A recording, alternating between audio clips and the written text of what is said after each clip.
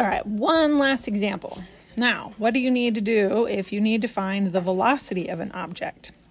Well, we need to start back from our equation for momentum because over here we've got velocity on the bottom, and a lot of people are going to see that as difficult to start with. But over there, velocity is not on the bottom of a fraction, and it's just being multiplied by momentum.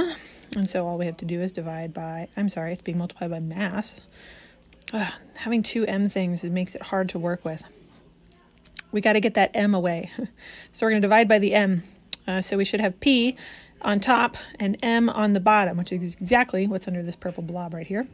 So velocity is going to be p divided by m. Remember, p is for momentum, m is for mass. So that's what we're going to be doing to find the velocity. This question says calculate the velocity of a 5.5 kilogram bowling ball that has a momentum of plus 38.2 kilogram meters per second. Again, there it is with that direction right here. That plus is the direction. Velocity has direction, so this answer is going to have to have a direction on it. So make sure you include a direction when you need to. Okay, so um, so I got to write down my formula without anything in it. That's a whole point right there. Okay, don't forget your whole point right there. Oops, it looks like I didn't write some whole points over here too. So we get a point for writing our work, and we get a point for this here. Um, the directions, there's no direction on the mass problem, uh, but there is definitely direction on the velocity and also on the momentum problem. So you got to make sure you include those there. Oh, I think I'm remembering how this works now. Okay, back to the problem.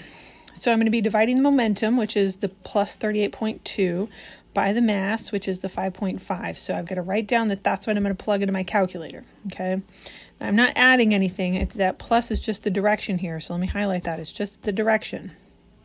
So I don't have to add anything first. I'm just putting it there as the direction. Um, so in my calculator, I'm just going to type in 38.2 divided by 5.5. And then that's not going to be a pretty number. It's probably going to have a bunch of numbers after a decimal. So I'm going to round uh, and I'm going to write my answer down and I'm going to keep that positive there because that positive is the direction. Okay. So when Mrs. Gastler is grading your test, uh, or your checkpoint, or she's looking at your stuff, she's going to look for the number and the unit on your answer, and she's going to look for the direction there too. Um, if you had one of each of these kind of problems, like find the momentum, a find the mass, and a find the velocity, it's probably going to be worth 10 points altogether. Uh, and this last extra 10th point, even though there's three steps to each of these, is probably going to be for the directions um, because that's the only thing left. And I can't write very well on this iPad with my finger. Mm, that's okay. Whoops, the T. There we go. There we go. Okay. So that's what you're going to be looking for. Okay.